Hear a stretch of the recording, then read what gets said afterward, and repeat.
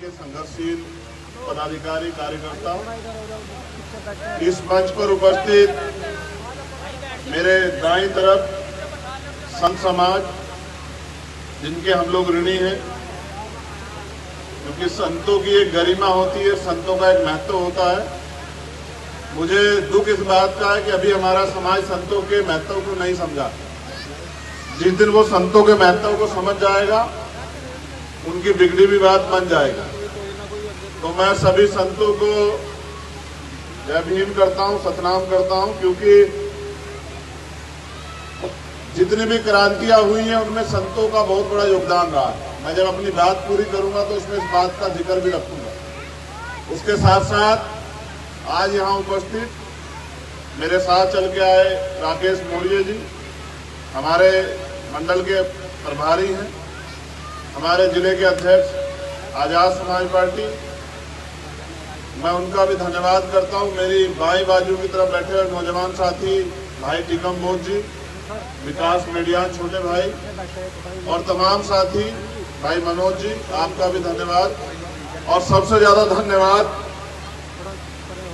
सतीश जी महाराज जी का, जिन्होंने हमें इनवाइट किया और मौका दिया यहाँ के अपनी बात रखने का।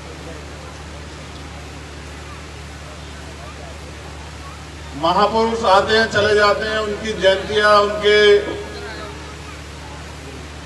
लक्ष्य को जो लक्ष्य दे के जाते हैं, दिशा दिखा के जाते हैं, उसमें हम लोग चलते रहते हैं। लेकिन आज एक विशेष अवसर तो अपनी बात को शुरू करने से पहले, संत श्रोमणी सदगुरु रविदास जी महाराज, तथागत गौतम बुद्ध भगवान वाल्मीकि महाराज, गुरु नानक देव संत कबीर, सभी गुरुओं, संतों को नमन करते हुए और जिनका आज जन्म जयंती महोत्सव बना रहे हैं, उनके साथ साथ बहुजन समाज के कमज़ोर वर्ग के तबके के लोगों के लिए काम करने वाले बाबूजी अतर सिंह जी जिनका ज़िक्र किए कि उनका इतिहास भूल गया। मैं समझता हूँ कि इतिहास भूला नहीं जाता। इतिहास न ढका जाता इतिहास तो युगों युगों तक याद रहता है। मैं आज जिनका जन्मदिन हम पाँच तारीख को मनाए, पाँच अप्रैल को, उनको भी नमन करता हूँ, बाबू जगजीवन राम जी को। उनका भी समाज को आगे बढ़ाने में एक बहुत बड़ा योगदान। और जिनका जन्म हम जयंती समारोह हम लोग 14 अप्रैल को मनाएँगे, उनको भी परम पूजनीय डॉक्टर बाबा साहब अंबेडकर जी को भी नमन करता हूँ। मैं नमन करता हूँ मान्यवर साहब श्री काशीराम जी को। और अब, क्योंकि ये काम मेरे बड़े दिल का हुआ, हमारी मुक्ति का एकमात्र रास्ता है वो है शिक्षा। और शिक्षा के लिए चाहे संस्थान, मैं धन्यवाद देता हूँ कि आपने इस रुकी हुई इमारत की, जिससे आने वाले कल में डॉक्टर, इंजीनियर, साइंटिस्ट, वकील, जज और हो सकता है विधायक, एमपी भी तैयार हो।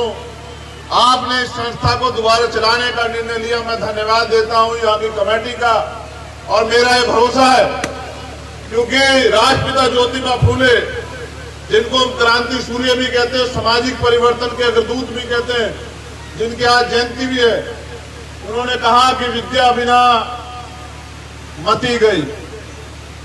मति बिना नीति गई। नीति बिना गति गई। गति बिना वित गया। वित बिना सुध गए। इतने अनर्थ एक विद्या के कारण, अविद्या के कारण विद्या न मिलने कारण हुए।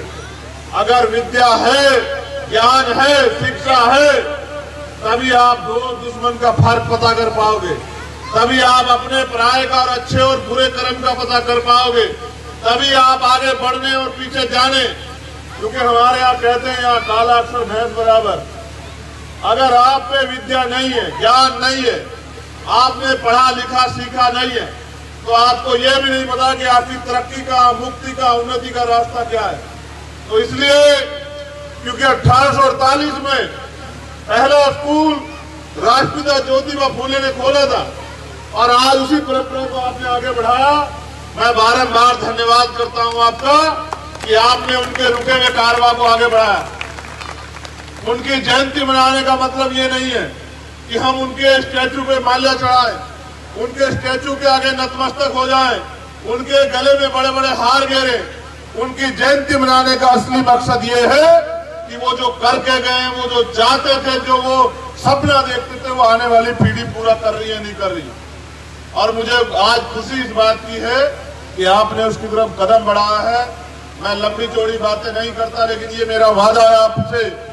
महाराज जी, कि जब जब हम मेहनत करेंगे और कुदरत प्रकृति जिस दिन हमें अपने संतों गुरुओं महापुरुषों के आशीर्वाद से, जिस दिन वो ताकत हमें बख्शेगी, आप मेरी बात को नोट करना कि ये जगह, स्कूल नहीं है यूनिवर्सिटी बनेगी। मेरा वचन है, आपको याद रखना। और मैं वही कहता हूँ जो मैं कर सकता हूँ। क्योंकि हमारे गुरुओं संतों, महापुरुषों ने हमें यह भी बताया है कि सत्ता वो चाबी है जिसके ज़रिए आप अपनी सारी परेशानियों का हल निकाल सकते हैं। अगर आज मेरे पास समाज ने ताकत दी होती तो शायद आपको इसके लिए किसी के सोचने